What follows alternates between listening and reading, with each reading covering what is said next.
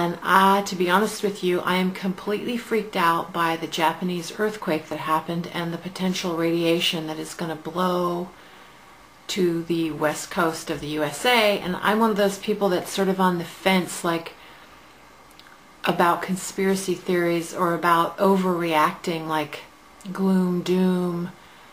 Who knows what'll happen December 21st, 2012. I'm not sure about that. Um, but strange things are really happening on the planet and things seem to be getting more intense and speeding up. That seems to be a scientific fact. I think I am going to get some of those iodine tablets actually, the radiation iodine tablets, uh, potassium iodine, whatever the heck it's called. I got it written down, but I'm going to go to the health food store, vitamin store, wherever they have those and get some of those. And I'm going to stock up on bottled water and other supplies that, you know, food that doesn't need to be cooked or, or refrigerated or whatever. I have tons of rice already, just in case. It could be that we don't need emergency supplies. Thankfully we won't. Hopefully we won't, I mean to say. But like, okay, I was going to say that in the media, sometimes in the news, they exaggerate um, and sensationalize things, and maybe that's designed to scare people or get people to buy something, buy certain products, you know, as a as a scare tactic or the capitalistic thing, whatever. It could be that sometimes the media exaggerates something, but usually I think the opposite. Usually I think what the media does is they downplay because they don't want the mainstream population to panic because that would just scare everybody, freak everybody out, screw things up if everybody was freaking out. So I just am trying to stay calm and think, okay, there could be a nuclear meltdown happening right now in Japan. I'm not sure. Who knows what's the truth about that? I know that nuclear power plants are fairly dangerous, especially in this earthquake situation. Pretty scary. So I think, okay, I'm not going to panic. Somebody somebody online told me that I should leave the West Coast and go somewhere like go to the Midwest or the or the East Coast, but I don't think I'm going to be doing that. I'm going to stay in Seattle for now. Um, but I don't want to be naive uh, and think everything's just fine. I want to make sure though that I stay focused in the present moment. Listen to Eckhart Tolle, The Power of Now, not panic, not freak out.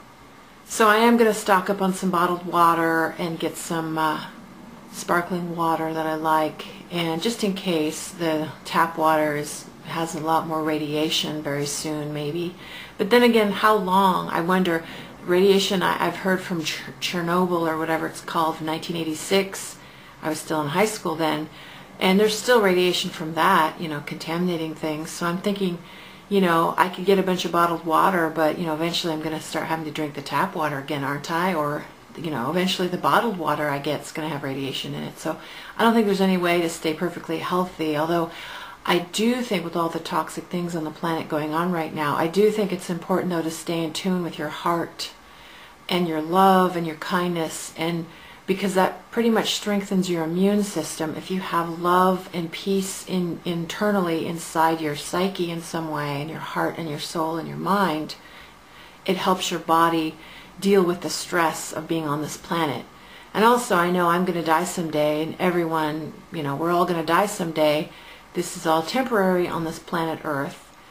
So I do kind of want to let go of trying to fight, uh, fight mortality. But I want to do my best to survive as long as I possibly can, even though I admit I have a, a lot of stress and anxiety and depression.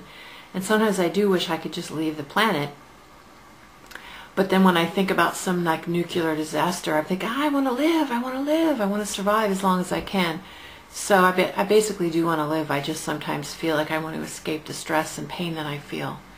So I was going to say that um, I'm a fairly spiritual person, so I do believe that if my body dies, that my my soul is still intact, or still, you know, he can't really harm the soul because it's not part of this physical earth reality um, not part of this dimension. It's, it's a different vibration.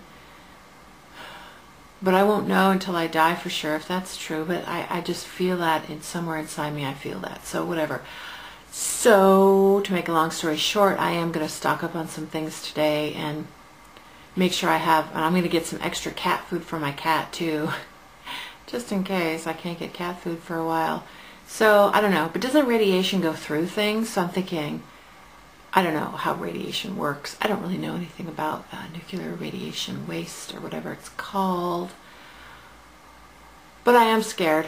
But again, I don't want to be paranoid and overreact and freak out, but I also don't want to be naive and believe the powers that be and think, oh, everything's okay, everything's okay. They would tell us if it wasn't. I'm not naive enough to believe that. So there. But again, I don't want to be all paranoid and freak out. So, and then people are saying something's weird happening with the sun. Who knows if that's true? I don't know what the deal is with that. There's like a big shadow on the sun or some kind of weird eclipse thing or an extra big solar flares and solar storms on the sun. And then I'm thinking, okay, it could be that a lot of things, you know, a lot of tumultuous things are going to happen on this planet with the weather and who knows what's going to happen in 2012, if it's going to be gradual you know, but everything is temporary. Every civilization has been temporary. Um, so what makes human beings now think that we're going to go on forever like this? It could be that our civilization could be wiped out and then evolution will continue and then another civilization will come to this planet. You know, another, you know, humans will, whoever the survivors are will continue. So I think I don't know if I really think it's going to end here, you know, life on the planet, but it, there could be uh, massive amounts of people passing away. Who knows? I don't know. Uh, I don't want to be one of these paranoid people, but I don't want to be naive either. I don't think that all conspiracy or I don't think all those kinds of theories are off. Um, I went and heard Shirley MacLaine talk a little bit about it, and she seems to firmly believe that 2012, the axis of the earth is going to change. And I've heard that the the Japanese earthquake actually the axis of the earth actually literally changed from that earthquake because it was so intense. And there's continuing to be many earthquakes happening and I don't know if that's normal or not because they, they say there's been hundreds since the big one in Japan. And there's other ones going on in California. So I don't want to panic but I have to admit I'm feeling really weird right now and like I don't even want to leave my house. You know, I've been, I usually go out and do stuff every single day and then this is a day where I get to stay in and I'm thinking I really want to stay in today because I feel kind of freaked out about all the weird stuff going on in the world. Plus it's pouring rain out there. It's like one of these rain, rain, rain, all day rain kind of days. I am working on a more lighter note. I'm working on a new hand-painted backpack and some new hand-painted shoes. I guess I'll show you those now. So I'll show you some, I call it Kringwear because my last name is Kringen. Since 1985 or 86 when I was still in high school, I've been hand-painting shoes. Gave two pairs to Tori Amos, the singer, years ago. And that was a really interesting experience. So I'm grateful that that happened. Would like to manifest more interesting dreams like that especially would love to travel more internationally. So yeah, I'm going to show you my new painted stuff now.